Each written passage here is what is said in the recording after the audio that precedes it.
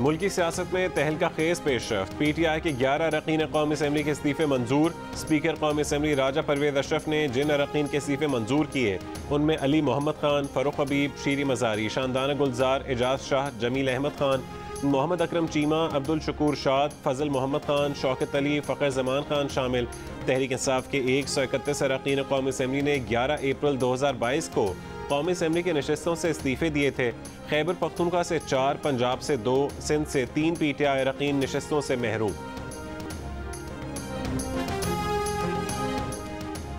Election अपने वक्त पर होंगे। आठ साल से जेर अल्तवा फॉरन फंडिंग केस का फैसला जल्द किया जाए। पी डी एम इजलास में करारदाद मंजूर। मौलाना फजलरहमान ने कहा है कि इलेक्शन कमीशन पुरस्कार खामोशी तोड़ दे। बगैर किसी तखिर के फॉरन फंडिंग का फौरी फैसला सुनाए। ज़ोर दिया कि फुल कोर्ट के ज़रिए आर्टिकल तिरसठ ए की तशरी के लिए सदारती रेफरेंस दायर किया जाए। कहा कि सुप्रीम कोर्ट के हालिया फैसले से मुल्क में बहरान पैदा हुआ है, जो मुआशी बहरान का भी सबब बन रहा है। मुश्तरक हमत अमली तय करने के लिए पी डी एम अजलास मजीद चंद रोज जारी रहने का ऐलान।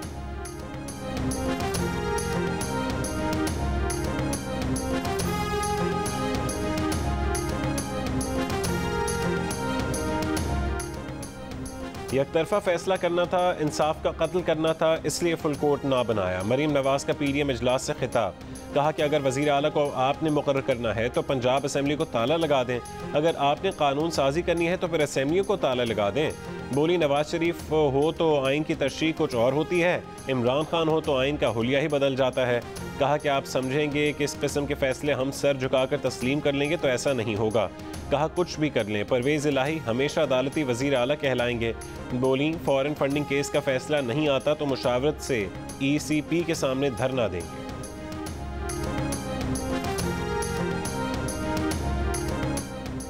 नवाज़ शरीफ ने पी डी एम इजलास में सबको बता दिया कि वह हुकूमत में आने के खिलाफ थे और खिलाफ हैं।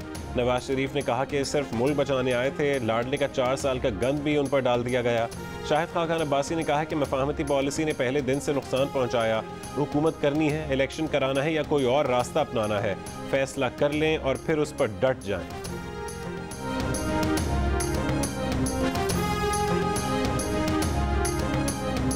ये गेम नहीं चलेगी कि मरियम और नवाज़ शरीफ कहें कि वो अलहदा थे और ये सब शहबाज शरीफ ने किया है। फवाद चौधरी का नून लीग पर वार। मोले हुकूमत गिराने में नवाज़ शरीफ पूरी तरह मुलविस थे। अदम अहतमाद से हुकूमत गिराने की यकीन दहानी सबसे पहले नवाज़ शरीफ को कराई गई थी। तहरीक साहब के रहनमा ने कहा है कि हमें एक तारीख तय करना होगी। अगर हुकूमत ने तब तक इलेक्शन का ऐलान ना किया तो हमें इस हुकूमत को घर भेजना होगा। बोले, ये वो अहमक हैं जो गढ़े में गिर गए हैं। बजाय बाहर निकलने की कोशिश के गढ़ा और गहरा खोद रहे हैं। इस्टेबलिशमेंट की तारीखी हैसियत पहले जैसी नहीं रही। सियासी जमातों को इस्टेबलिशमेंट की मदाखलत के बगैर बातचीत करनी चाहिए।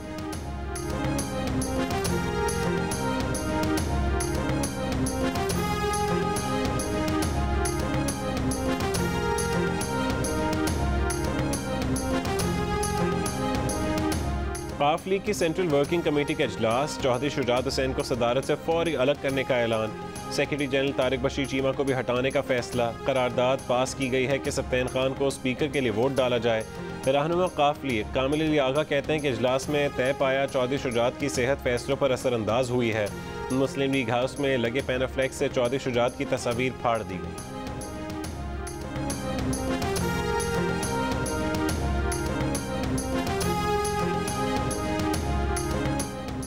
Muslim League central working committee के अजलास के बारे में खबरें मन घड़त और बेबुनियाद हैं। मुस्लिम लीग की सेंट्रल वर्किंग कमेटी का कोई वजूद ही नहीं। तर्जुमान मुस्लिम लीग काफ शफात हुसैन कहते हैं कि कामिल अली आगा मुस्लिम लीग पंजाब के जनरल सेक्रेटरी हैं। वो कैसे मरकजी सदर के खिलाफ कोई कार्रवाई कर सकते हैं?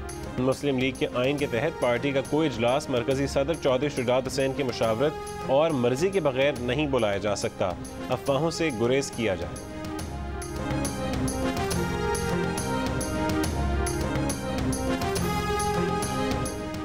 सुप्रीम कोर्ट में तैनाती के लिए चीफ जस्टिस के नामजद जजेस के नाम, कसरत राय से मुस्तरद चीफ जस्टिस के नामजद पाँच जजेस पर जुडिशल कमीशन में इख्तलाफ।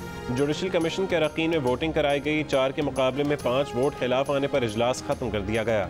सुप्रीम कोर्ट के लामी में कहा गया कि नामों पर बहस के बाद चीफ जस्टिस ने नए जजेस से मुतालिक मजीद डेटा फराहम करने की हिदायत की। इजलास मौखर करने के हवाले से पाँच अरकान के वोट आए। जुडिशल कमीशन के इजलास की नई तारीख से मेम्बरान को आगाह कर दिया जाएगा।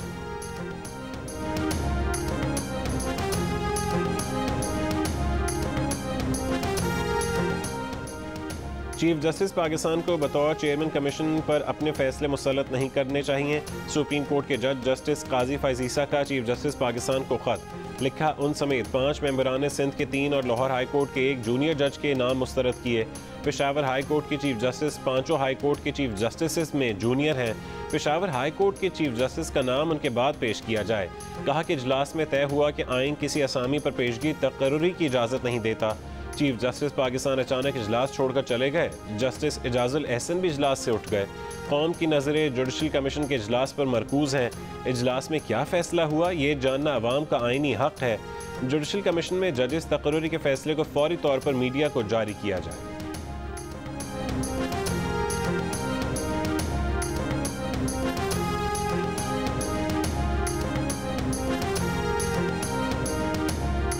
हम ख्याल जजेस के बेंच बनाकर मुकदमात सुने गए तो इदारे को नुकसान पहुंचेगा। तहरीक इंसाफ के रहनुमा और सुप्रीम कोर्ट बार के सबक सदर हामिद खान की प्रोग्राम आज शाहजेब खानजादे के साथ में गुफ्तु कहा कि जजेस के तकर्र के लिए जुडिशल कमीशन में आज चार के मुकाबले में पाँच की अक्सरियत से चीफ जस्टिस की तजवीज़ करदा नाम मुस्रद कर दिए गए। कहा, हम चीफ जस्टिस से तो नहीं करते कि वो बयान देंगे जो वहाँ नहीं हुआ। बताया वोटिंग होने के बाद इजलास को मौकर होना नहीं कहा जा सकता।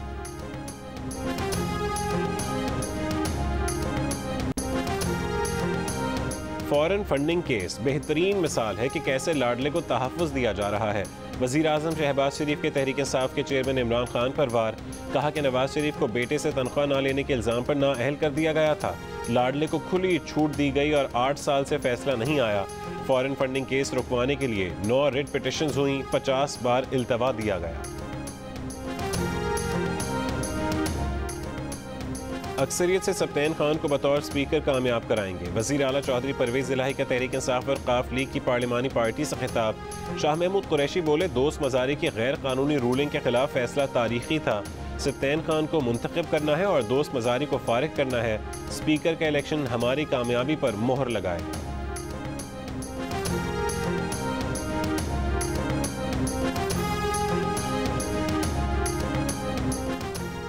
पंजाब असम्बली में स्पीकर के इंतब में अपसेट होगा। वज़ीर दाखिला राना सनाउल्ला कहते हैं कि हमारा बंदा जीत जाएगा। परवेज इलाही को अदम अतमाद का वोट लेने का कहेंगे। तहरीक इंसाफ, फॉरन फंडिंग केस का फैसला फौरी सुनाने का भी मुतालबा। पीपल्स पार्टी के कमर जमान कायरा बोले, आठ साल में डेढ़ सौ से ज़्यादा पेशियाँ हो गईं। ममनुआ फॉरन फंडिंग केस का फैसला क्यों नहीं हुआ? इमरान खान, सादिक अमीन हैं तो केस में ताखीर क्यों कर रहे हैं?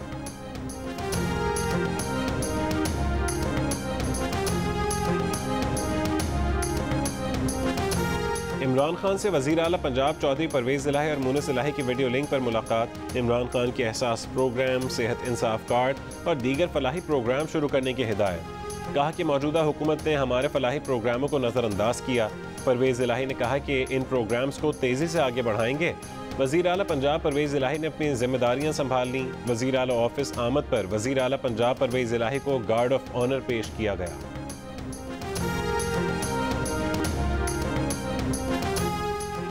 जरदारी और शरीफ माफिया की सोच है कि जिन्हें वो खरीद नहीं सकते, उन्हें इस तरह ख़त्म किया जाए। तहरीक इंसाफ के चेयरमैन इमरान खान, सिंध में अपोजिशन लीडर हलीम आदिल शेख को गिरफ़्तार किए जाने पर सिंध और विफाक हुकूमत पर बरस पड़े। कहा कि यह खालिश फिस्ताइत है जो जरदारी शरीफ माफिया की सोच की अक्सी करती है। ये हरकतें किसी भी जमहूरियत में कतई तौर पर नाकबिल कबूल हैं। एंटी करप्शन कोर्ट ने पचास हज़ार रुपये की जमानती मचलकों के वज रिहाई का हुक्म दे दिया।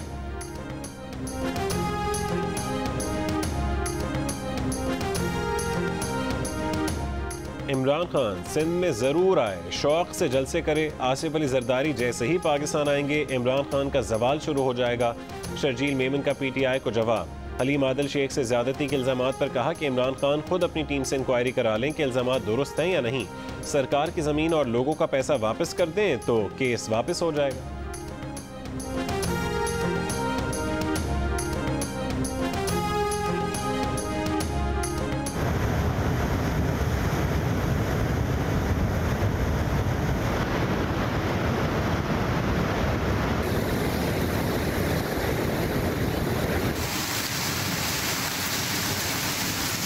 तूफानी बारिशों और सैलाबी रेलों से बलूचिस्तान में तबाही। बिफरे पानी के रेल इंतजामिया के दावों को बहा ले गए। कान महतर जई और लसपीला में खातून और बच्चों समेत ग्यारह अफराद सैलाबी रेलों में डूब गए। सौ से ज़्यादा मकान गिर गए। खड़ी फ़सलें बर्बाद। डेरा मुराद जमाली में पानी के सामने हर चीज़ तिनकों की तरह बह गई। चमन फिशीन ज्यारत, हरनाई, किला सैफुल्ला, योब और पाक अफगान सरहदी इलाकों में मूसलाधार बारिशें। बाब दोस्ती बॉर्डर बंद, डैम्स ओवरफ्लो होने से सूरत हाल और बिगड़ गई। सौराब में नदी का बंद टूटने से रेस्टोरेंट, दुकानें और गाड़ियाँ बह गईं। सड़कें और पुल पानी में गायब। सूबे का मुल्क से ज़मीनी रबता ख़त्म। मुसाफिर बसें और ट्रक रास्तों में फंस गए। पेट्रोल, डीजल, दवाएँ और खाने पीने की अशिया कम पड़ गईं। बारिशों के आगाज़ से अब तक एक सौ ग्यारह अफराद जहाँ बहक हो चुके। सात सौ से ज़्यादा मवेशी हलाक, दस हज़ार मकाना तबाह।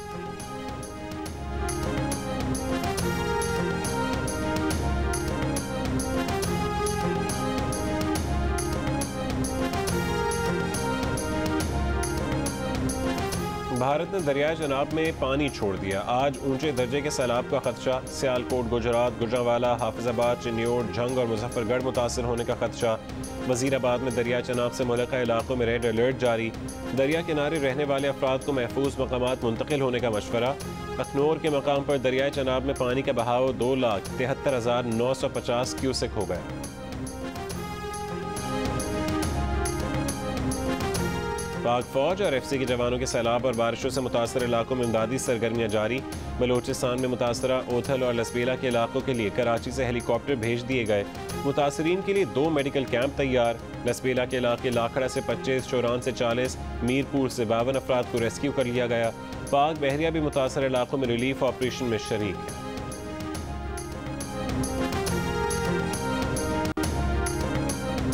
डॉलर ने रुपयों को धोबी पटका लगा दिया। ओपन मार्केट में तीन रुपये महँगा होकर दो सौ चवालीस रुपये का हो गया।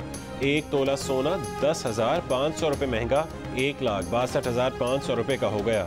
आलमी rating agency Standard and Poor's ने रुपए की बेकदरी पर पाकिस्तान का आउटलुक मनफी कर दिया।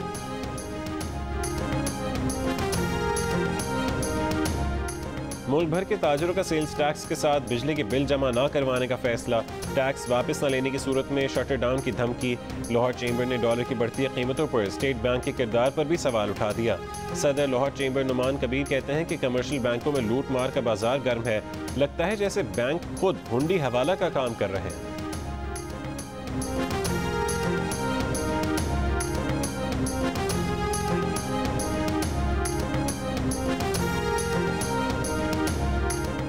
कराची वालों के लिए बिजली ग्यारह रुपये सैंतीस पैसे महँगी। नेपरा ने जून के लिए माहाना फ्यूल चार्जेस एडजस्टमेंट की मंजूरी दे दी। मुल्क के दीगर हिस्सों के लिए बिजली की फ़ी यूनिट कीमत में नौ रुपये नवासी पैसे इजाफे की मंजूरी।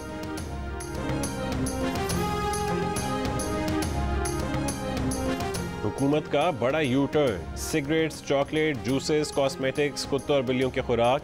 टिश्यू पेपर्स, मछली, फर्नीचर आइसक्रीम जैम और जेली समेत सैकड़ों लग्जरी और गैर ज़रूरी एशिया की दरामद पर पाबंदी हटाने की मंजूरी दे दी। पाबंदी उठाने का नोटिफिकेशन वफाकी काबीना की मंजूरी के बाद जारी किया जाएगा। विफाकी हुकूमत ने उन्नीस मई दो हज़ार बाईस को तैंतीस कैटेगरीज की सैकड़ों अशिया की दरामद पर पाबंदी आयद की थी।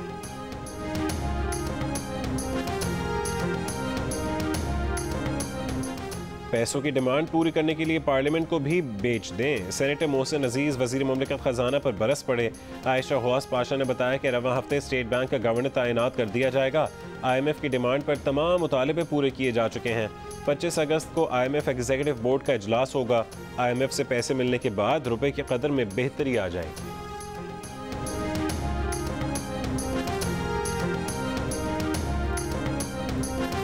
आसिफ अली जरदारी का कोरोना टेस्ट मुस्बत आ गया। सबक सदर ने खुद को घर में करंतना कर लिया। बिलावल भुट्टो का कहना है कि वालिद की कोरोना वैक्सीन मुकम्मल है। मा, मामूली अलामत हैं इलाज जारी है।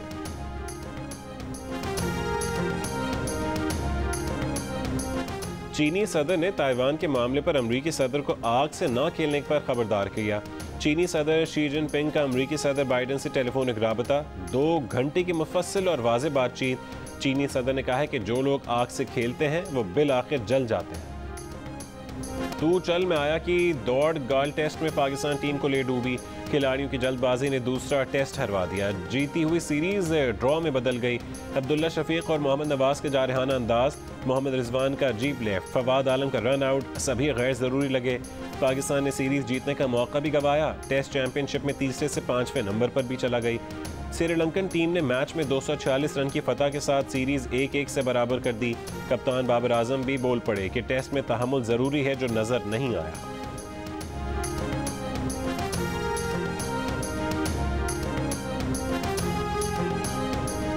और कॉमनवेल्थ गेम्स की इंग्लैंड में अफ्ताही तकरीब। पाकिस्तान का 103 रुकनी दस्ता शरीक रेसलर इनाम भट्ट और विमेन क्रिकेट टीम की कप्तान बिस्मा मारूफ मार्च पास में शरीक, खेलों का बाकायदा आगाज़ आज से होगा।